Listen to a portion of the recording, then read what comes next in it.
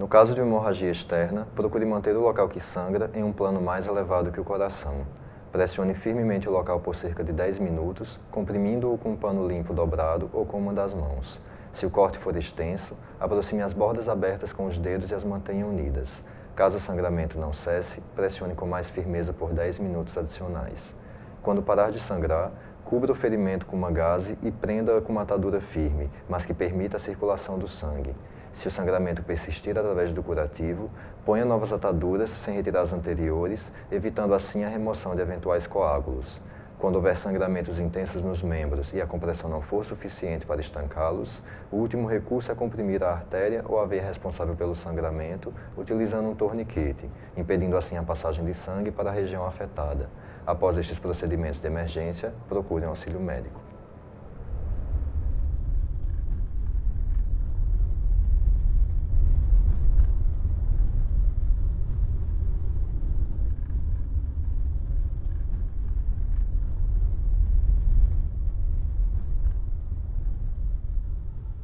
Ao comando de sentido, o homem unirá os calcanhares com energia e vivacidade, de modo a se ouvir esse contato. Ao mesmo tempo, trará as mãos diretamente para os lados do corpo, batendo-as com energia ao colocá-las às coxas. Durante a execução deste movimento, o homem afastará os braços cerca de 20 centímetros do corpo antes de colar as mãos às coxas. O calcanhar esquerdo deverá ser ligeiramente levantado para que o pé não arraste no solo. Nesta posição, o homem ficará imóvel com a frente voltada para o ponto indicado, os calcanhares unidos, pontas dos pés voltadas para fora, de modo que formem um ângulo de aproximadamente 60 graus. O corpo levemente inclinado para frente, com peso distribuído igualmente sobre os calcanhares e as plantas dos pés, e os joelhos naturalmente distendidos.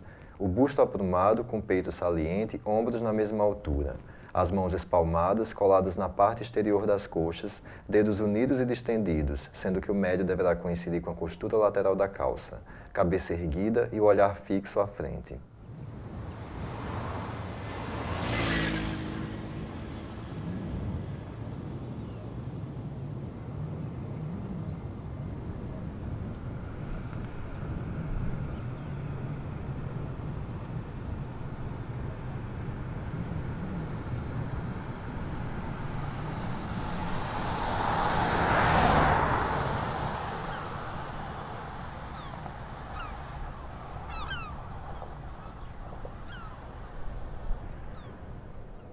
Na hora de comer, seja discreto.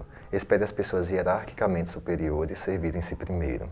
Seja agradável, procure falar de amenidades. Falar mal de chefes e colegas, assim como criticar a organização nesta circunstância, é expressamente proibido. Evite contar histórias catastróficas e ficar falando de doenças. Em dias de festa, as pessoas não querem falar desses assuntos e você poderá se tornar desagradável. Evite ainda falar só de trabalho. Se você não é acostumado a beber bebida alcoólica, não vai escolher justamente a festa da sua empresa para experimentar. Isto poderá lhe render uma bruta ressaca física e moral. Cuidado com a roupa. Mesmo que aquele colega maravilhoso que você paquerou o ano inteiro for presença confirmada, lembre-se que todos os chefes, diretores e colegas também estarão por lá.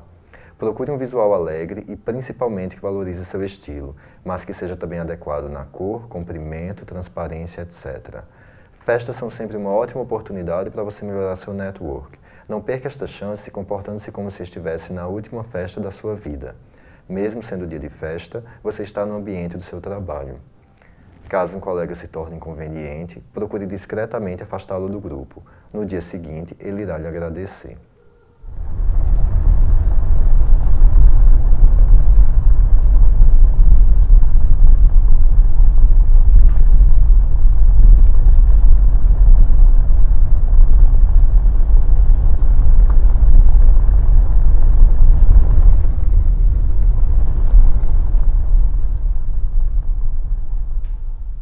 Escolha um horário que não atrapalhe seu cotidiano, nem sirva de desculpa para não meditar. É importante manter a regularidade.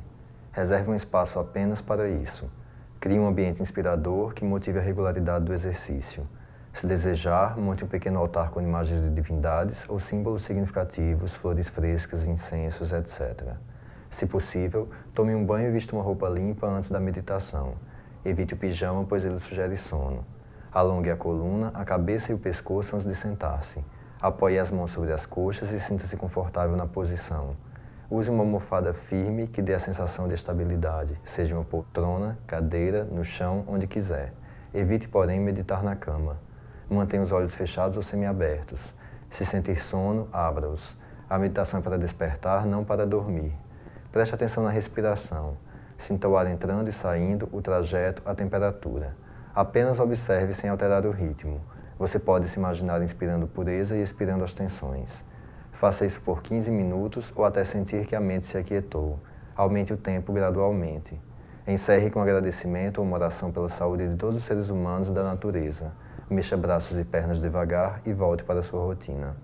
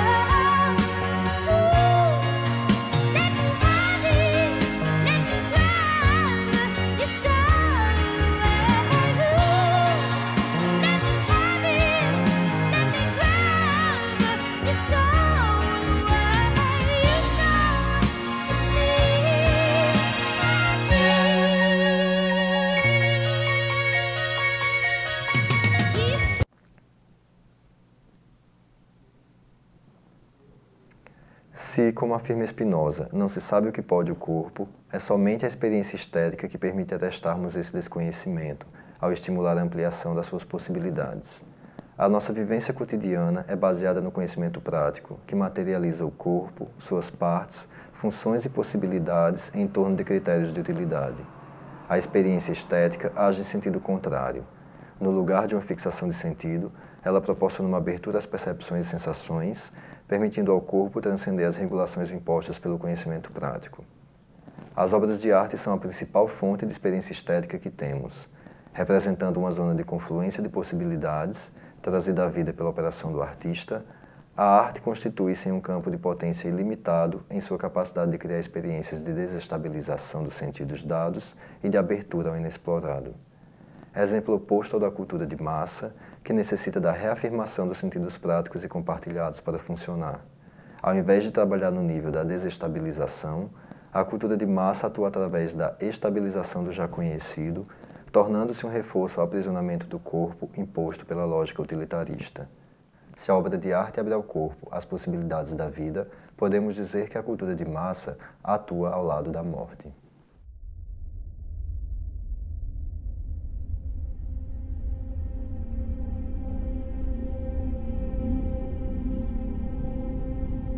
Corta.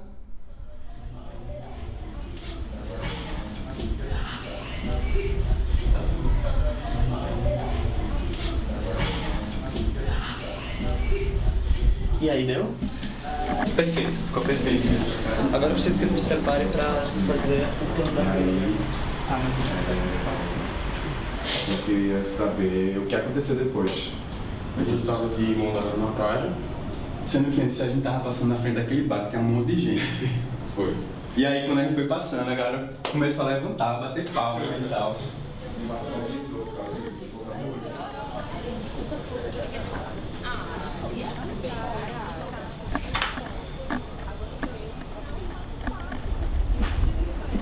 Pare quieto.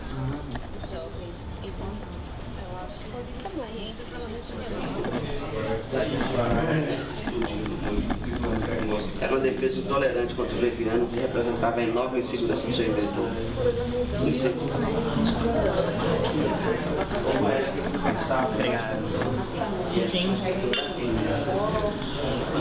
É Agora eu acho que não tem nada a ver se mulher gostar de futebol. Sabe? Acho que elegante. Eu acho que elegante. Desculpa, não sei se Sujeira de pobre, é suor. Ah, gostei. Ó, tem esse. Ah, esse tá ótimo. Esse, manda avisar que eu quero esse. Tá bom? E traz mais vinho. Não compactou com esse tipo de coisa. Adorei ele. Ótimo, não é? Não, assim, garçons Só bonito, olha. O terceiro me chegou. Oh, she's bleeding.